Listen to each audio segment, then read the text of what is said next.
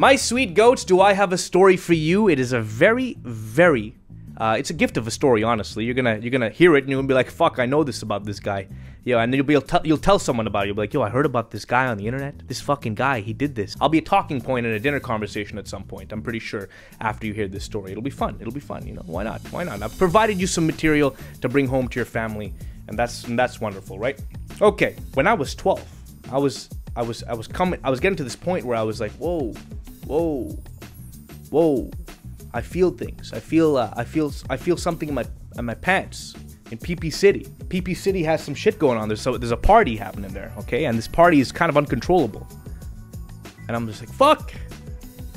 I gotta do something about this. So I didn't really have much material, you know, at, at the age of 12 or whatever. I don't remember the exact age. I could have been 12 or 13. Doesn't really matter because uh, it's not really a does not much of a big big difference between 12 and 13. Honestly, it's fucking marginal, marginal.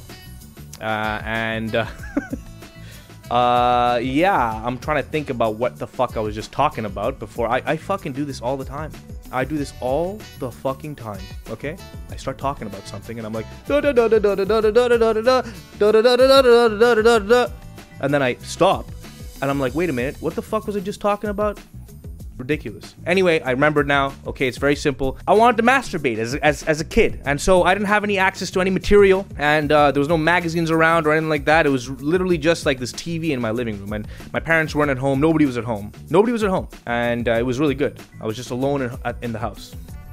And so uh, I turn on the TV and I go to the French news station. We had like three channels. I think it was channel 10 or something. That was the French one and uh, and there was a really hot news anchor. I don't even know her name. I just saw her one time, and I was like, wow, she's hot. She's real hot. And so I I dropped my pants. I literally got out of my pants. Okay, I didn't just I didn't just like drop my pants. I took off my pants, then took off my underwear. Underwear. I took off my underwear and I just stood there in front of the TV, rubbing my dick on the TV whenever this lady showed up, and I was like, yeah. I don't know if I was like, I don't know if I was like, yeah, but I was pretty much trying to get, I was trying to get something going on there. I was like so fucking, I was like just so horny.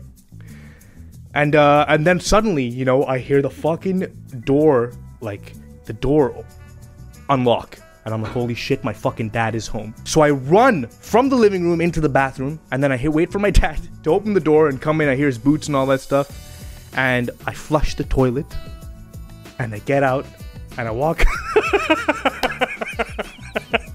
and I walk out just just completely naked, just completely naked towards my dad. So my dad hears the toilet flush, and he sees me coming down the fucking out of the kitchen like completely just naked. And he and he looks into the living room and he sees my underwear in one area, my pants in another area, and he's like, "What the fuck were you doing?" He's like, "What were you fucking doing, dude? What was going on there?" So what happened? You like uh, you just dropped your pants, decided to go to the fucking bathroom that way? You didn't want to just bring the pants to the bathroom? And I was just like, yeah, I know, I just felt like it. I, I don't know what happened. I just had to do it. And my dad looks over and there's like this hot fucking news anchor on TV. So my dad just like smiles and he's just like, okay, okay, man, all right, all right. And then he just dropped it.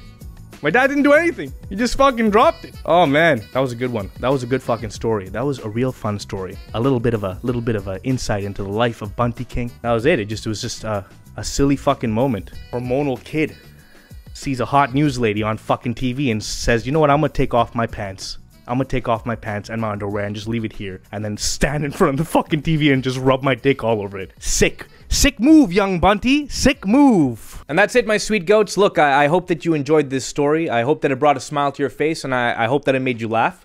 Uh, if you want to see more of me, you can always go ahead and hit the subscribe button. And uh, if you want to see me immediately, you make sure you hit that bell icon so you stay notified. Uh, and of course, if you did enjoy, just in general, just want to leave a like, go ahead and leave a like, leave a comment, say hello, say whatever. Uh, share this with a friend. Do whatever you wish. Do whatever you wish. You want to masturbate to this fucking video? You can masturbate to this video. I don't care. Have a good one. Take it easy. I will see you real, real soon. My sweet, sweet goats. Bye.